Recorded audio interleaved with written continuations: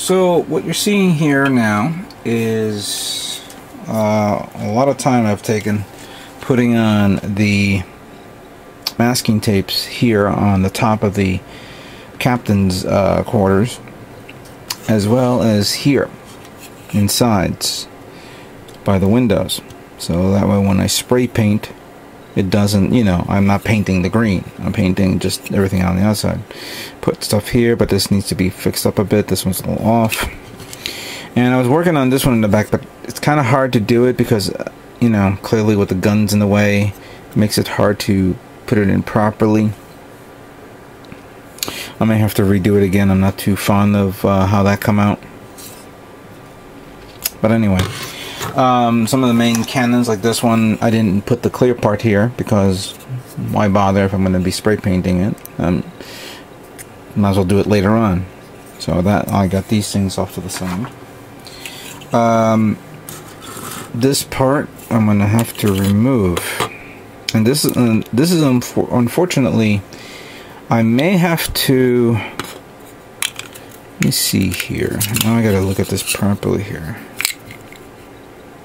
Okay, I think I know what I can do because the problem was is I don't want to spray paint accidentally spray paint this, but if I take Tamiya tape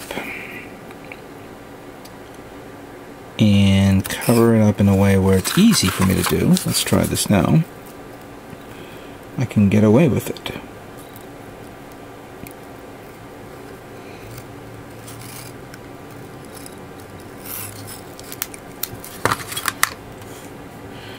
And then I just carefully do this.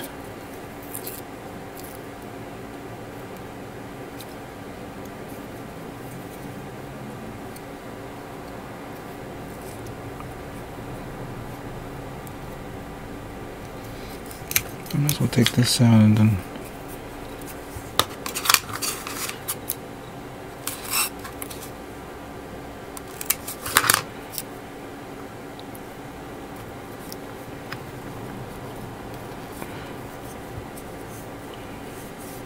And we'll put another one here.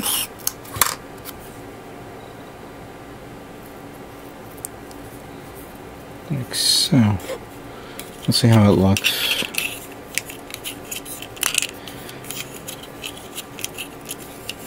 Actually, you know what? I gotta do this.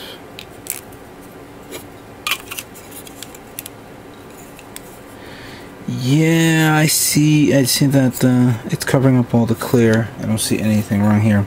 But remember, the purpose of this is so I can spray paint the whole thing properly and evenly.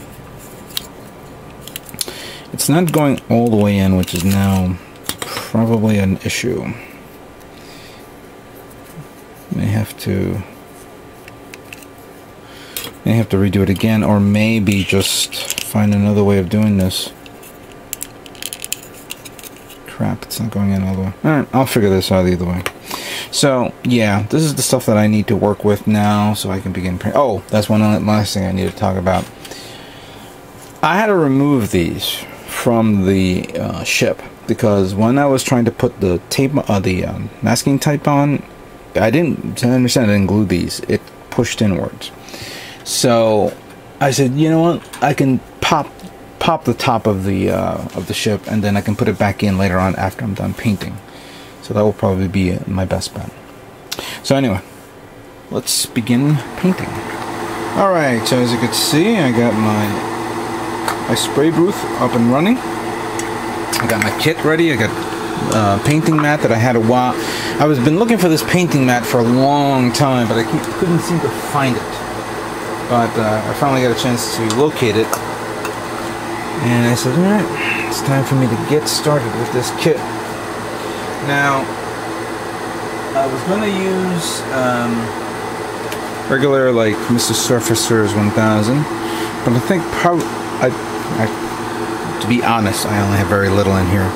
So I'm going to give it the good old Mr. White Base, uh, base white, excuse me, base white uh, priming for this. So I'll paint the whole thing white. So, like I always do, this is what the kit looks like before priming. And here it is, now all fully primed-ish. to say the least. So, um, used up all of the white, uh, the base white color. I think I have a, a, few drops here and there, which I will of course thin out and use it if I have to for some other kits, or maybe I'll redo it again. I'm waiting for this to finish drying. It's halfway done, in a way, drying, so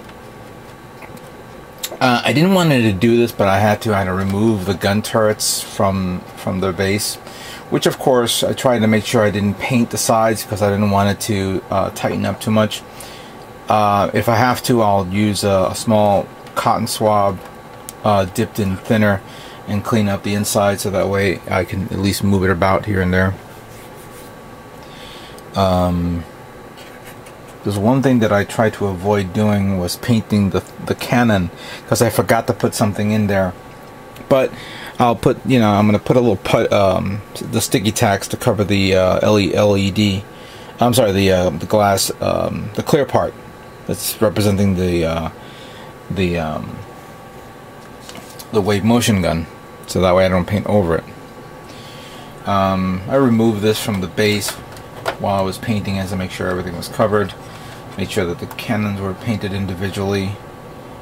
Uh, I see that the this one held up okay, so I don't see any issues.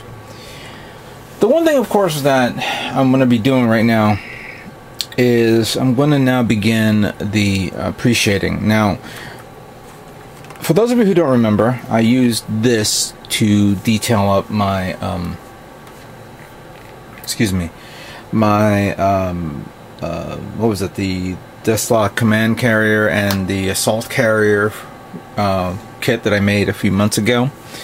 And it was, you know, it's a cheap alternative, of course, but what I really want to do is I want to do a pre-shading um, airbrush where I will airbrush the lines of this. Now, I got to figure out how I can get the most out of my airbrush by painting very, very thin lines. I got to clean it up a bit before I do that.